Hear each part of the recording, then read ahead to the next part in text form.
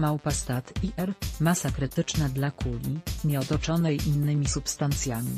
Dla czystego izotopu uranu 235 wynosi 52 kg, zaś dla plutonu 238 i 239, jest to 10 kg.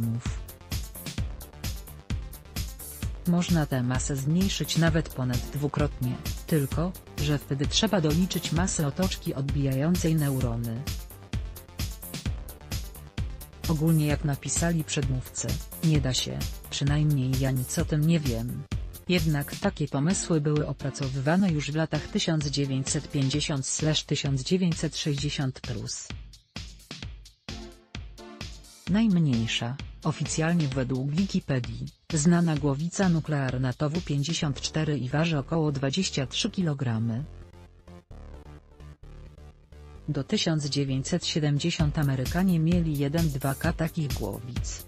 Na zdjęciu, M388 Davids Rocket, gotowy do odpalenia.